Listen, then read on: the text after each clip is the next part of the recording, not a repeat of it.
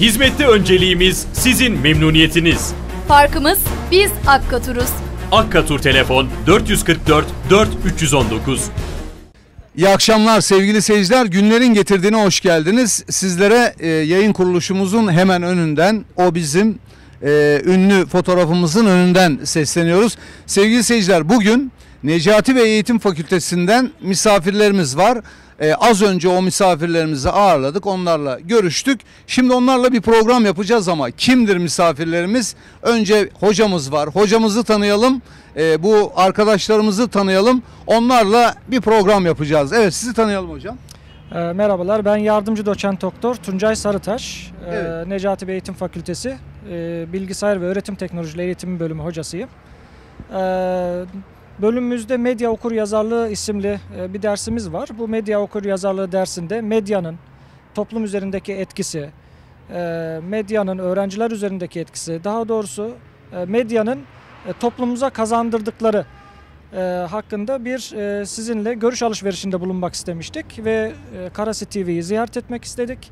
E, Evet. bu sebeple ziyaretimizi bugün sizinle gerçekleştiriyoruz. Evet, Evet, bir sınıf olarak geldiniz değil mi hocam? bir sınıf Evet. olarak geldik. E, medya okuru yazarlığı dersini alan seçmeli bir ders bu. E, bu dersimizi seçen öğrencilerimizle beraber burada birlikteyiz. Evet. Peki bu talep buraya gelme fikri sizden mi çıktı, öğrencilerimizden mi çıktı? Hep beraber buna karar verdik. Yani Evet. yerel basınımız olan Karasi TV'yi ziyaret etme fikri hepimiz tarafından e, kabul edilip uygun görüldü. Evet. Ve geldiniz tabii ki öğrencilerimiz, gençlerimiz merak ettiklerini e, bize sordular. Biz de işte haberciler olarak, televizyonda bulunanlar olarak onlara cevaplar verdik. Peki e, siz sizden birkaç cümle alayım. Sonra öğrencilerimize, gençlerimize dönmek istiyorum.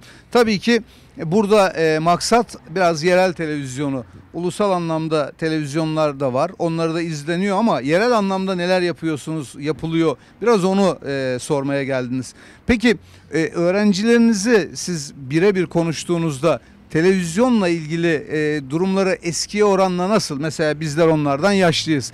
Ne gözlemliyorsunuz? Televizyon izliyor mu gençler?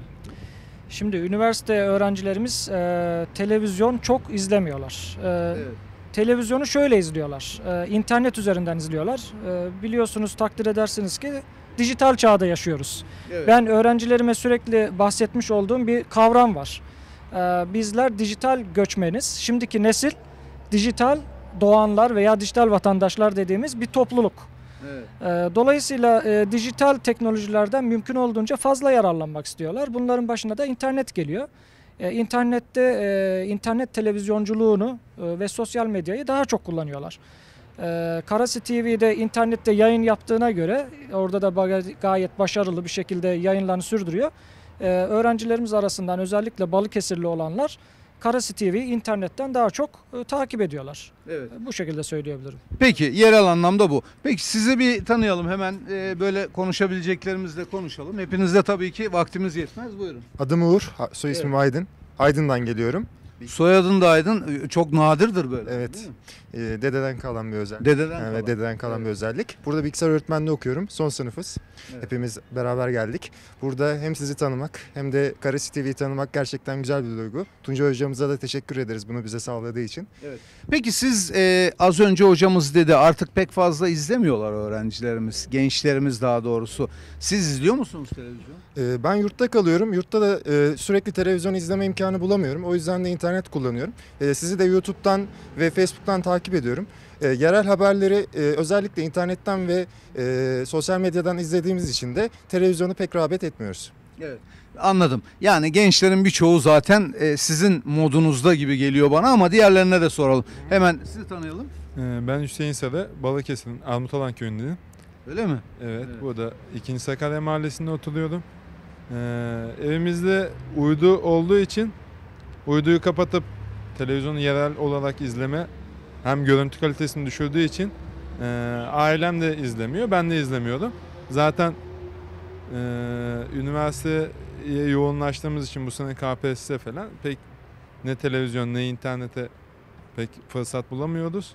Ama geçtiğimiz senelerde e, genelde internet başındayız. Tabi doğal olarak bölümümüzün de getirdiği bir şey olarak internetin başında. Ama delikanlılar erkekler biraz kafelere, kahvelere biraz daha fazla gittiği için e, vakit bulamıyor da izlemiyor. Şimdi kızlarımıza onu soracağım ben.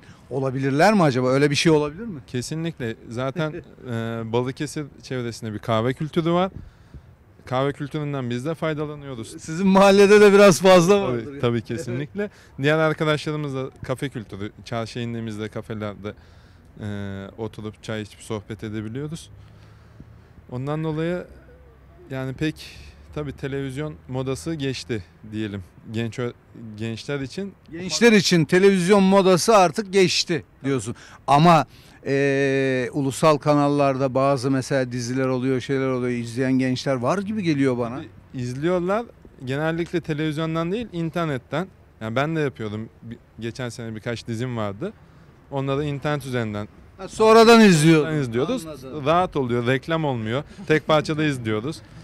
O reklamlar bıktırıyor. Tabii mesela. tabii. tabii. Bık, yani bıktıran çok reklam var. 5 dakika, 10 dakika dizi oluyor, 15 dakika reklam oluyor. İster istemez yani izleyicinin de tepkisi oluyor tabii ama bu tepki eee, Gün gelecek artık o televizyonları normal e, yayın yapan e, belli şeye göre yayın yapan televizyonlar artık pek fazla kimse izlemeyecek gibi bir yola mı gidiyoruz? Hep insanlar internetten istediği zaman istediği anda reklamsız izlemeye doğru mu gidiyor iş? aslında oraya doğru gidiyordu. İnternette de artık reklamlar çıkmaya başladı. Şimdi dizi izliyorsunuz hemen 20. dakikasında bir reklam giriyor. Bu sefer eee, o da tatmin edici. Ama bir şey söyleyeyim mi? O imkanları sunabilmek için, size o dizileri, programları sunabilmek için, haberleri sunabilmek için o reklama ihtiyaçları var. Özellikle birçok televizyon öyle ama biz Kares Televizyonu için söyleyelim. Tamamen sadece reklam geliri olan bir kuruluş. O reklamlar olmasa nasıl yayın yapacak diye de düşünmek lazım. Tabii onu e, izleyici düşünmez.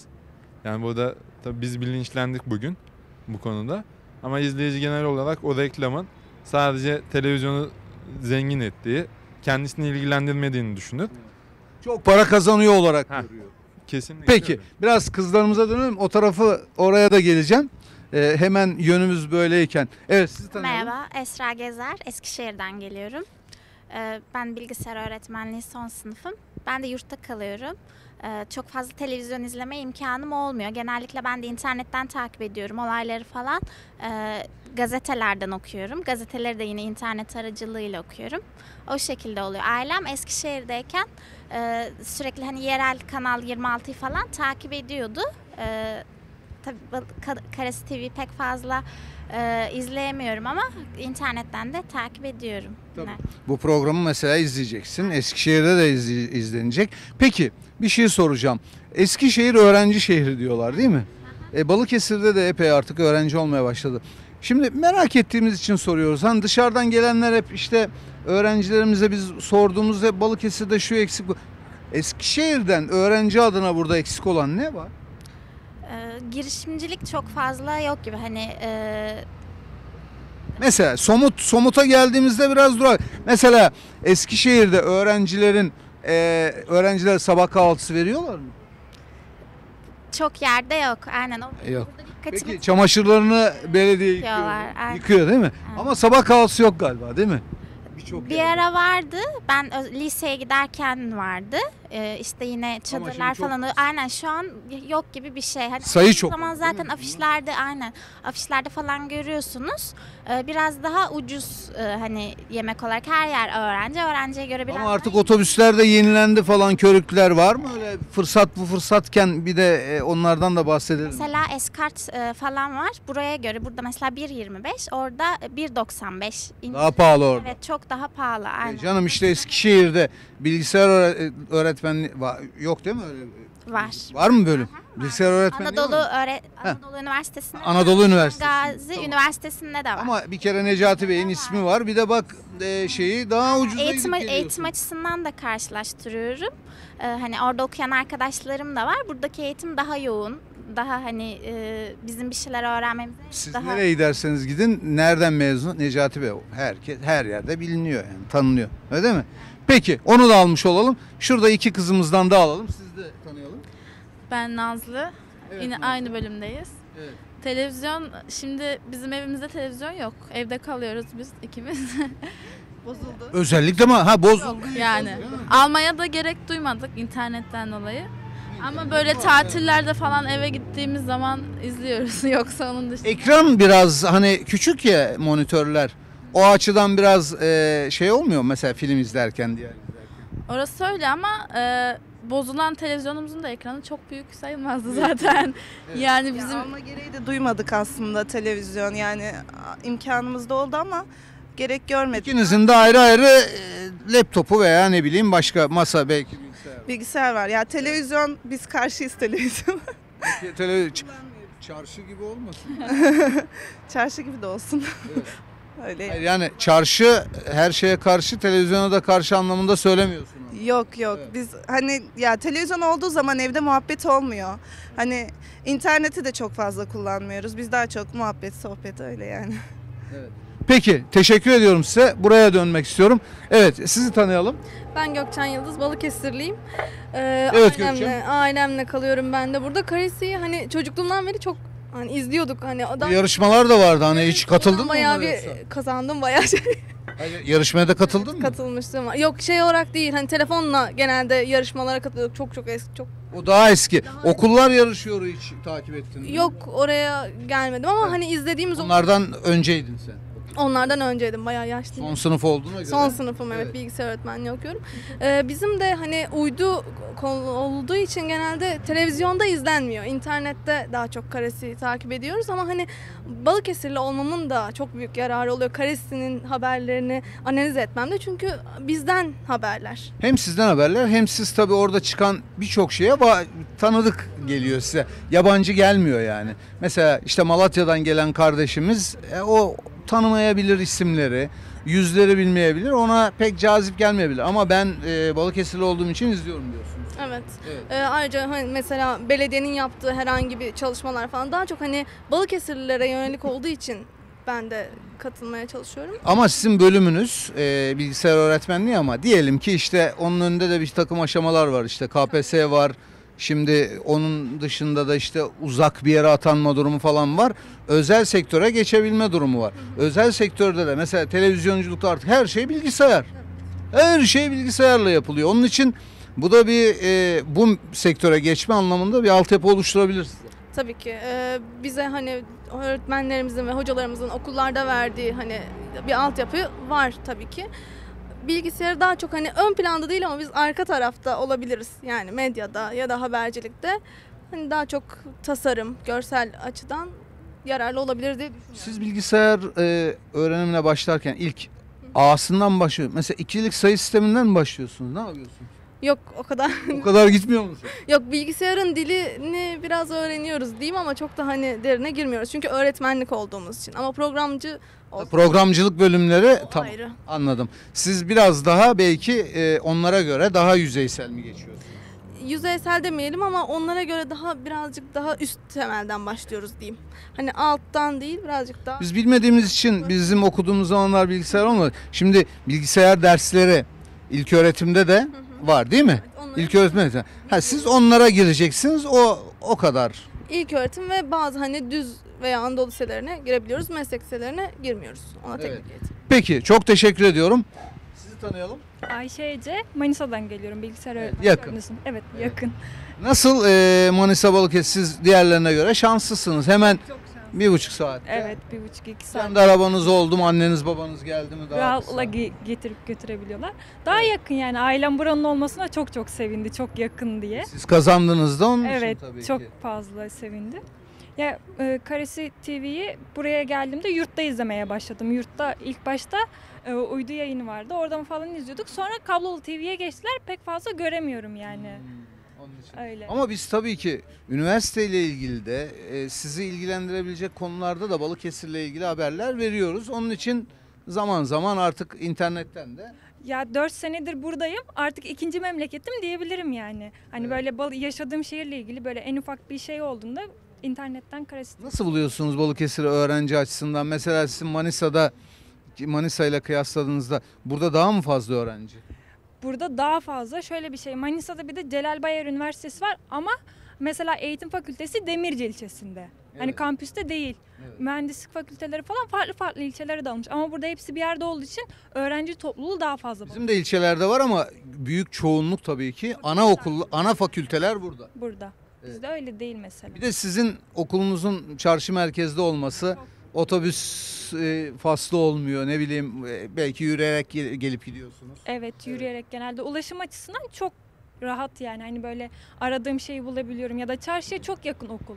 Hani kaldığım yer Sizin zamanınızda dediler mi belki okulu oraya ilk geldiğinizde alabilirler kampüse falan. Geçiyor mu? böyle? hala da geçiyor. Ben size bir şey söyleyeyim mi? Almazlar.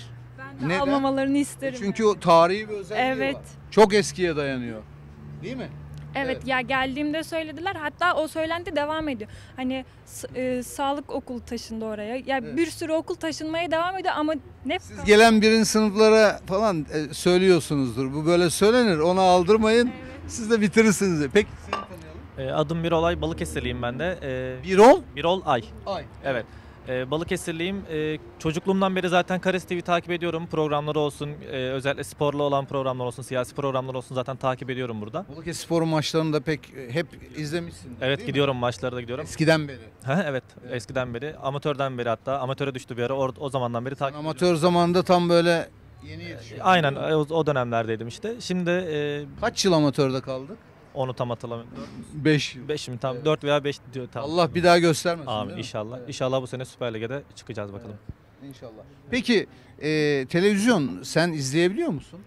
Yani bugünler için söylüyorum. Az önce ifade ettim bundan öncesini. Ya eskiden çok daha çok e, izleme fırsatım oluyordu ama yani şimdi okuldan olsun e, biraz daha şey televizyonla fazla aram iyi değil ama internet üzerinden her şekilde istediğim kanala, istediğim programa erişebiliyorum yani. Peki artık televizyondakiler gençleri e, pek tatmin etmiyor. Daha doğrusu yavan geliyor, boş geliyor artık. Televizyonda yapılanlar onlar işte geyik muhabbetleri gibi geliyor diye de bir takım görüşler var. Katılıyor musun buna? Yani bir kısmına evet bir kısmına hayır kaliteli programlar da var. Hani Evet. eee, dediğiniz gibi hani boş programlar da var. Onlar oldu mu zaten elinizde kumanda geçebilirsiniz. Onların da her e, satıcının bir alıcısı vardır misali. Onların da bir alıcısı vardır. Evet evet aynen öyle ama ben ben eee, çok fazla televizyon izlemiyorum. Daha çok gündemi internetten takip ediyorum. Ne varsa gündemde 5 dakikada gündemi takip ediyorsunuz. Ne varsa da öğreniyorsunuz. zaten. Aynen aynen öyle. Gazeteleri daha çok hani takip ediyorum. internetten takip ediyorum. Evet. Peki teşekkür ederim. İsminizi soyadınız? Bengül Toker. Bengül Toker. Peki sizi tanıyorum. Meral Özdemir Ankara'dan geliyorum ben de. Ee, yerel habercilik bence daha çok önemli. Şimdi mesela ben Ankara'ya gittiğim zaman Balıkesir'le ilgili bir haber duyuyorum mesela televizyonda. Hemen böyle Aa, Balıkesir'de ne olmuş? Kulağın gidiyor değil mi? Aynen Balıkesir neresiymiş, ne olmuş falan hani ilgisini çekiyor insanın. Uydudan olursa bu daha önemli olacak. Peki bu Balıkesir'de yurt mu ev mi? Yurtta kalıyorum burada. Yurtta mı? Hep hep yurtta mı kaldın? Evet, 4 senedir yurttayım. Hala aynı odadayım hatta. Ama Allah'tan siz tabii burası yakın bir de kampüs olsa. Kampüs olsaydı. Yine otobüsle gelip gidiyorsunuz değil mi? Yok hayır. Hemen yakın. Ha, yurt özel yurtta. özel Pardon. Tamam. Ben e, Özel yurttayım. devlet yurdu diye. şey Evet yaptım. orası uzak. E şimdi sizde e, minibüse e, sıra stresi yok. Bekleme yok. Geç kalırım korkusu yok. Bir metre kar da olsa siz okulunuza geliyorsun. Bu çok bir kere öğrenciyi rahatlatıyor. Avantaj. Mesela Ankara'da yaşayan arkadaşlarım hani okuyan arkadaşlarım hiç Hiçbiri bunu yapamıyor. bir buçuk saatte yol gidiyorlar. Önce hani yol düşünüyorlar. Ona göre kalkıyorlar. Ona göre gidiyorlar. Çok zor oluyor onların. Yani okula gidinceye kadar artık beyin birçok şeyden yorgun düşüyor. Olduğu zaman mesela o yorgunlukla sınava giriyor. Geri geliyor sınav hazırlanıyor. Onun için çok zor oluyor. Evet. O yüzden şanslıyız. Kesinlikle. Yakın. Zaten Necati Bey'de okumak biz bunu zaman zaman programlarda söylüyoruz. Ayrıcalıktır. Bunu sonra sonra daha da anlayacaksın. Herkes de okuyamıyor orada yani. Herkese nasip de olmuyor değil mi? Evet, Sizi tanıyalım. e, Ben Özge Yıldız. Manisa Turgutlu'dan geliyorum. Turgutluluyum. E, Balıkesir'i seviyorum. E, Küçük bir yer yani benim geldiğim yere çağrıştırıyor. Evet. E, Benim geldiğim yerde böyle bir Karası TV gibi yerel bir televizyon yok ama oranın haberlerini... İlçede yok mu? E, İlçemizde yok ama e, Yankı Gazetesi var. E, Gazeteden takip ediyoruz. Yani dediğiniz gibi aynen böyle kendi yaşadığımız yerin haberlerini takip etmek güzel oluyor. Kendimizden bir şeyler buluyoruz yani. Güzel. Peki e, kendi branşınızla ilgili, mesleğinizle ilgili birkaç cümle. Ben bilgisayar bölümü öğrendim. Evet, o bölümü. Necati Bey'de. E, Bölümümü çok e, severek geldim. Biraz zor, ağır e, eğitimi gerçekten çok güzel Necati Bey Eğitim Fakültesi'nin öğretmenlerimiz de çok güzel. Geleceği parlak bir meslek olarak görüyorum. Ne kadar atamalarımız şu an e, az ya da arttırılıyor gibi görülse de e, en azından buradaki aldığımız eğitimle bir tek e, bilgisayar öğretmeni olarak değil de başka alanlarda İlk öğretim, orta öğretim ayrılıyor mu sizin burayı bitirdiğinizde? Ha, evet ayrı. Ayrılıyor mu? Siz ilk öğretim mi? Bizim şimdi ilk öğretim şimdi 4 artı 4'ten dolayı 5. 6. sınıflara girebiliyoruz. Yani şu an Ha 5'e 6'ya iki oluyor. Ha? Aynen o şekilde. 4-5 ihtiyaç olursa ona da girecek. İlk ilk 4'te giremiyoruz. Ortaokula giriyoruz yani. Ortaokula giriyorsun. Peki o zaman ihtiyaç olur hocam. Ee, biz bizim bölüm diyorlar sadece 5-6'ya 5. 6. sınıflara girecek diyor da e, o da çok ihtiyaç vardır yani. Hani pek fazla beklemezler gibi geliyor. Yani Okulu bitirdikten sonra. tabii. Atanması açısından düşünürseniz e, yani zaten çağımız şu an dijital çağ dediğimiz için e, öğrencilerimizde de birçok e, teknolojik alet uygulamaları var. Fatih projesi gibi tabletler dağıtıldı. E, dolayısıyla bilgisayar öğretmenlerine her zaman ihtiyaç olacaktır. Ama bizim öğrencilerimizin sadece bilgisayar öğretmeni olarak değil, e, piyasada e, bilgisayar programcısı, görsel tasarımcı, web tasarımcı e, gibi e, belli başlı yazılımları, Photoshop yazılımları, video düzenleyicisi gibi programları kullanıp kendilerine iş bulabilecek kapasitedeler. Yani kendilerini yetiştiren öğrencilerimiz e, çok büyük şirketlerde olsun. E, işte bir öğrencim Doğa Koleji'nde, e, eğitim teknoloğu, bir öğrencim Sebit'te. Dolayısıyla kendilerini yetiştiren her öğrencimiz kolaylıkla iş bulabilir. Ama e, bu branş hocam özellikle geleceğin branşı da olduğu için öğretmenlik de olsa onlar belki yan uğraşlarla kendilerini daha da fazla geliştirecekler. Belki başka bir e, alana kayacaklar. Ama geleceğin mesleği tabii ki. Puan olarak yüksek puanla mı giriyorlar? Mesela siz yüksek puanla mı giriyorsunuz? Hocam 400'ün üstünde puanla giriyoruz. Bu da gayet yüksek bir puan. Hani Mesela nerelere girile, girilebiliyor o puanla? O puanla mesela nereye gidilir? Bizim birinci bölüm olduğu için pek fazla alan tercihimiz e, fazla yok. Ama e, sayısal bölüm olduğu için diğer kimya öğretmenliği, biyoloji öğretmenliği gibi diğer farklı sayısal bölümlere de girebiliyoruz. Bankacılık, sigortacılık gibi bölümlere girebiliyor. İşletme, e, ağ işletmenliği, yazılım mühendisliği gibi yerlere girilebiliyor. Yani mesela yazılım mühendisliği Türkiye'de yeni açılan bir bölüm. Hani e, genellikle orada eğitim ve akademik anlamda eğitim alınırken bizim bölümden de faydalanıyor. Bunun gibi avantajları var bizim bölümlerin mesela. Peki çok teşekkür ediyorum. Hocam e, size de teşekkür ediyorum. Gençlerle bizi e, buluşturdunuz. Onların soruları oldu. Benim de onlara sorum oldu. Buna siz vesile oldunuz. Öncelikle teşekkür edelim. Böylesine bir e, ilk defa da oluyor onu söyleyeyim. Mesela bu ders vardır. E, siz bilmiyorum e, daha önce burada Hayır, bu mıydınız? ders ilk kez e, İlk kez ilk oluyor? kez oluyor. İlk Evet. kez konuldu programımıza, müfredatımıza. Evet. E, ilk kez olması da belki de size kısmetmiş. Evet, bize Biz de çok teşekkür ederiz. Bizleri ağırladınız, e, konuk ettiniz. E, sağ olun, var olun. Teşekkürler. Peki, tekrar teşekkür ediyorum. Evet sevgili seyirciler Necati Bey Eğitim Fakültesinden öğrencilerle ve hocamızla birlikteydik. Televizyonumuzu e, ziyaret ettiler. Bizlere soru yönelttiler. Bizler de elimizden geldiği kadar onlara e, cevap vermeye çalıştık ve onlara da sonrasında böylesi bir programla sorularımızı yönelttik. Böylelikle bugünkü programımızın sonuna geldik. Sizlerle tekrar birlikte oluncaya dek hepinize iyi akşamlar diliyorum efendim. Hoşçakalın.